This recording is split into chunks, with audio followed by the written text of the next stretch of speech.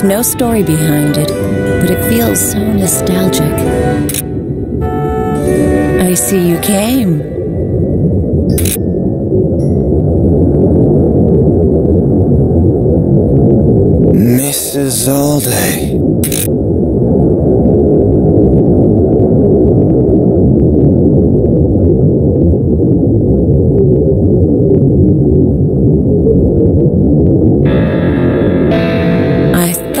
Told you not to involve any other students. We don't quite trust what you've got up your sleeve. Or is there a problem with us being here? We want to know about Vayne, too. I suppose it will help me deal with the confusion later. Mrs. Alday, you promised. Please tell me everything you know about me.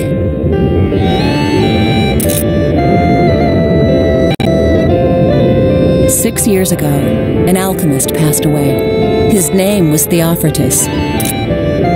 My dad, right? Dad? I suppose you can call him that. He made many discoveries, greatly contributing to the advance of alchemy. But everyone around him looked at him with jealous eyes. He couldn't stand it, so he left. He used alchemy to benefit the public. He was free of all his burdens. He was happier than I'd ever seen him. But in one of the towns he visited, he made an irreparable mistake. There was a girl who was very sick. She had an unknown illness, but he was overconfident. He believed he knew how to cure the girl. What? That's. What is it, Jess? N- nothing. I'm sorry. He tried to cure her using his own unique alchemy methods.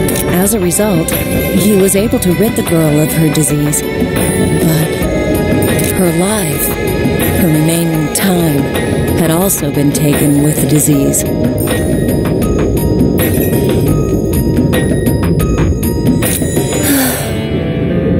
But the girl was grateful. With her innocent smile, and she thanked him deeply.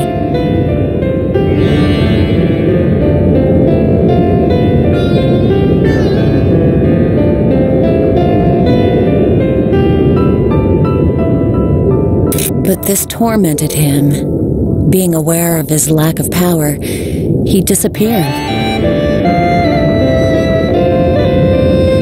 Living quietly in the forest, his heart slowly became distorted. That's why there's nothing written about his final years. Jess, you look a little pale. Are you alright? Yeah, I'm okay.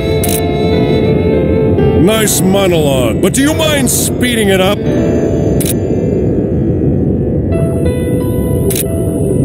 His distorted mind slowly filled with dark emotions conceit of being a genius, vengeance against mockery, vanity despite others. In order to satisfy those emotions, he set upon his final research creating life, a refined form of artificial mana. Do you understand yet?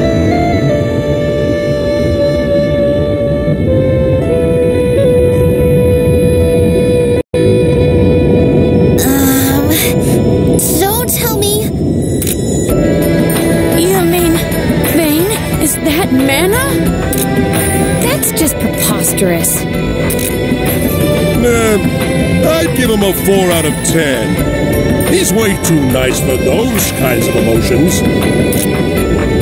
Harsh criticism. But I'm sure you can think of times that confirm this.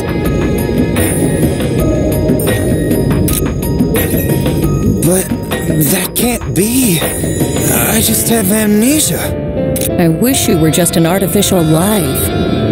If that were the case, you would not have been so fascinating. The problem is, The powers you hold as a mana. Powers?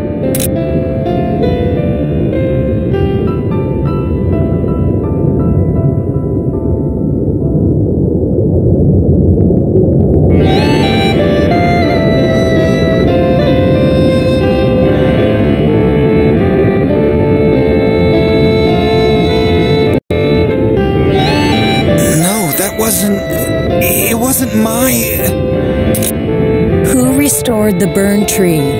Who defeated the great beast? Who released the frozen mana from the crystal? Who revived a dead cat? Your power did all that. But that's not. You're lying! It's just a coincidence! I mean, do you even have proof that Vayne did all that? Nikki's right. Your conclusion does sound like a bit of a stretch.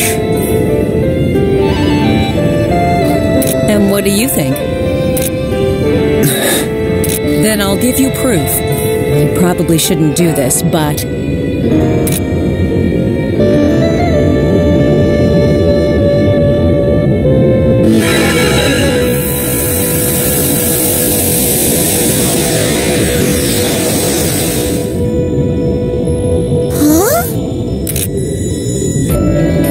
won't be long. You can bear this.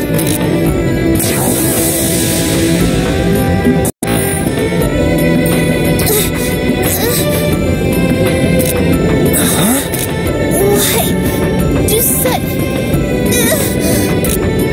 Ugh, You'll be fine. I'm confident. doesn't feel better?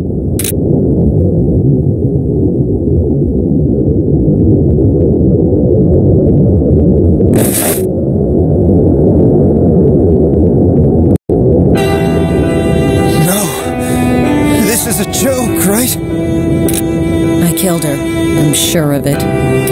What? Why did. Just wish. Again? Who are you? Make a wish and it'll come true. It's simple and understandable. If I wish, is that my. Do you want to help her? Want to save her? Then wish. That's. Of course! I want to save her. I want to save her.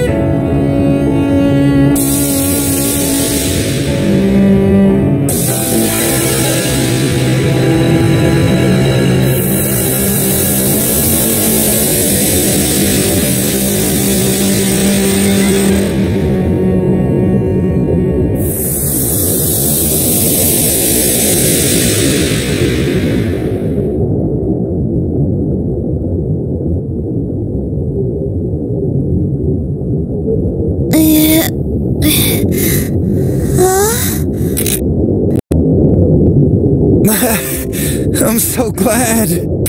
What's going on? Was it really Vayne? Do you understand the truth about you now? What your power is? You can fulfill your own, anybody's wishes. That's not an excuse. You're just horrible. What purpose did that serve to kill a student? What are you after? I thought if you lost your cat, your contract master, then maybe. But that didn't work. Now there's only one way. Answer me.